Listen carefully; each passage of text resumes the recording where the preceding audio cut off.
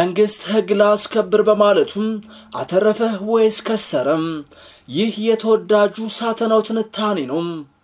የብልጽግና መንግስት መጽናት ተስኖታል። ትግራይን አላስተዳደረም።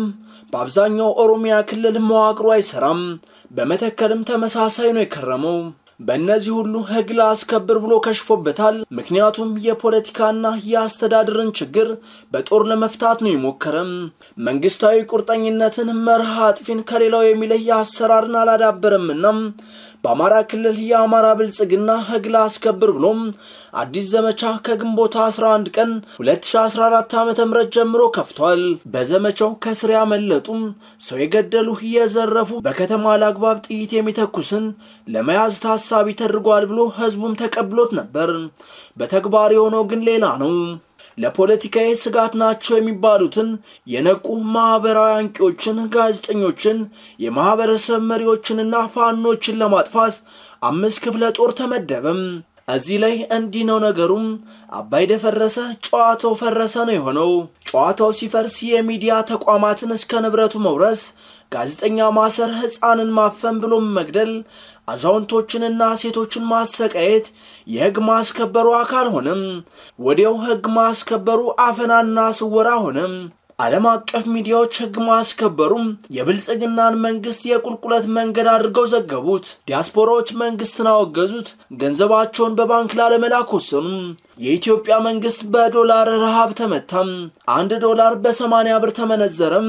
አንድ ትልቅ ነገር ብልጽግና ያጠፋው ደግሞ የመንግስት የጸጥታ ኃይል በህዝቡ ቅቡልነት እንዳያገኝ ማድረጉ ነው። ለብልጽግና የታመነና ለህዝብ የታመነ የሚል የጸጥታ አቦዳድን ተፈጠረም። ይህም ለመንግስት ስጋትን ፈጠረም። በሌላ በኩል ወጣቱን ልዩ ኃይሉንና መከላከያን ለመቀላቀል ይሽቀዳደም የነበረው ጥርጣሬ አሳደረም። በብልጽግና መንግስት የሚመራ ተቋም አይረባም አለም። ስለዚህ ብዙ ወጣት ወታደር ከመሆኑ ይልቅ ወደ ጫካ በመግባት በብልጽግና የተቃጣበትን የህሉና ስጋት ለመመከት ወሰነም። ይህም በዘላቂነት የሀገሪቱን የጸጥታ መዋቅር ይጎዳል። አንድ ወጣት ባለመቀላቀሉ የሰው ኃይሉ ይመነምናል። ሁለት የጸጥታ ኃይሉም ህዝባዊ ቅቡልነት የነጠፈበት ይሆናል። ደርግ አምስት መቶ ሺህ ሰራዊት ይዞ እንደ ዋልካ አፈር እየተፈረካከሰ የወደቀው ተስፋ የሚጥልበት ህዝብ ስላልነበረው ነው። ሌላኛው በህግ ማስከበሩ ሰበብ የመጣው ኪሳራም በቀጣይ የሚደረገውን የምክክር ሂደት ማዛባቱ ነው። መንግስት ከሀሳብ ይልቅ ጠመንጃ መምረጡም መንግስት በሀሳብ እንደማይቀየር ፍንጭ ሰጠም። ከብልጽግና ጋር ንግግር፣ ውይይትና ክርክር ዋጋ እንደሌለው የብልጽግና የአፈና ተግባር ተናገረም። እንደ መጻጉዕ ጀርባው ጎብጦ የነበረው የኢትዮጵያ ዲፕሎማሲ በተወሰነ መሻሻል ላይ ነበር። ህግ ማስከበሩ ሲጀምር የጎበጠው የበለጠ ታመመም። በአፈና ደዌ የተመታም የኢትዮጵያ መንግስት አፋኝ አራጅ ስርዓት የለሽ ሆኖ በሰብአዊ መብት ተቆርቋሪዎች ዘንድ ተፈረጀም። በቅሎ ገመዷን በጥሳለሁ ብላም የበለጠ አሳጠረችው ማለት ይህ አይደለምንም። ሌላው ብልጽግና ለምሳሌ በጎጃም ህግ የማስከበሩ ዋና ዓላማ ዘመነ ካሴ ላይ እርምጃ መውሰድ ነበር።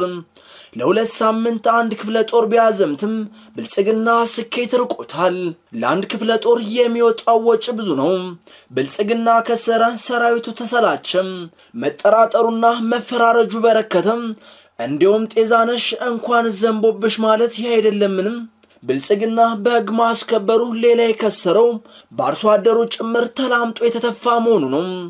ስራ ሳይፈጥር ማዳበሪያ ሳያደርስ ልማት ሳያመጣ ወታደር ልኮም ትምህርት ቤቶቹን የጦር ምሽግ ማድረጉም ብልጽግናን አርሶ አደሩ የበለጠ አንቅሮ እንዲተፋው አድርጎታል። ግን ብልጽግና የሚናገር እንጂ የሚሰማ የሚተነትን ሳይሆን የሚተነብይ የሚገምት ሳይሆን የሚያስጠነቁል የሚመስል የህልም ዓለም መንግስት ስለሆነም እውነቱን የመረዳት ሞራን የለውም። ሀገር እጁ ላይ እየቀለጠችበት ህዝብ ርቆት እርቃኑን እንደቆመ ስንፍናው ሸፍኖለት ቶሎ አይሰማውም። ህግ ማስከበር ከተጀመረ ወዲህ ብልጽግናና ህዋት አንድና ሕያው መሆናቸው የበለጠ ተገለጠም። አንዳንዶች የድሮውን ኢህአዴግ ናፍቋል። የብልጽግና ገልቱነት ኢህአዴግን አስናፍቋል።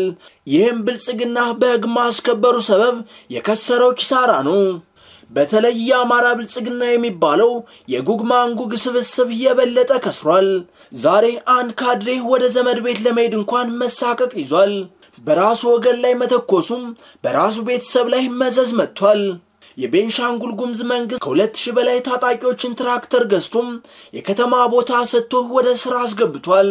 አቅም ያላቸውን ስልጣን ሰጥቷል። የአማራ ብልጽግና ግን ከቤንሻንጉል ጉሙዝ መማር አልቻለም። ስለዚህ የአማራ ብልጽግናም በንጽጽር የተዋረደና የማይረባ መሆኑ የበለጠ ግልጽ ሆኗል። ለወጣቱ ብድር በማመቻቸት ስራ እንደ መፍጠር ወደ ጫካ እንዲገባ እያሳደደው ነው። የኦሮሚያ ክልል ጀዋር መሐመድ የቄሮ አለቃ ሲሆንበት ለቄሮ የከተማ ቦታ በመስጠት ብድር በማመቻቸት የእርሻ ቦታ በመስጠት ቄሮን ወደ ስራ አሰማርቶ ከጀዋር ነጥሏል። ጀዋርም ይሁን ብሎ ወደ ኦፌኮ ተቀላቅሎም የሰከነ ፖለቲከኛ ለመሆን ተገዷል።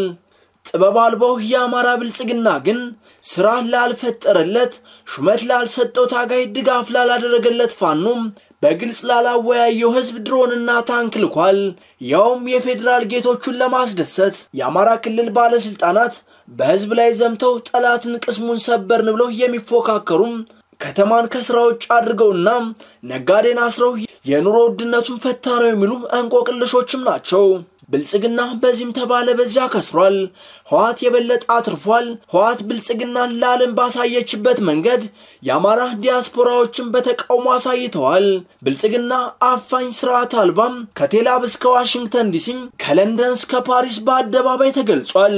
ጠላት ለዳግም ወረራ በተዘጋጀበት ወቅት ፋኖን የማጥፋት ዘመቻ ያስፈለገውም የአማራን ህብረት ለማክሰም እንጂም የክልሉን ሰላም ለማስጠበቅ ከመሰለ ከራስ ደርሶ ስትታፈን ወይም ስትወረወር እውነቱ ይገባሃል የሚሉ ድምፆች እያስተጋቡ ነው። የአማራ ብልጽግና የህዝብን ቅስም ሰብሮም ከጠላት እቅፍ የገባ በግ ነው። አማራ አንበሳ ህዝብ ሆኖም በበግ የሚመራ መሆኑ የበለጠ የተገለጸውም በዚህ ህግ ማስከበር ነው። ቆይታችሁን ከሳተናው ሚዲያ ስላደረጋችሁ ከልብ እናመሰግናለን። በያላችሁበት ሰላማችሁ ይብዛ። ቸር ያሰማን።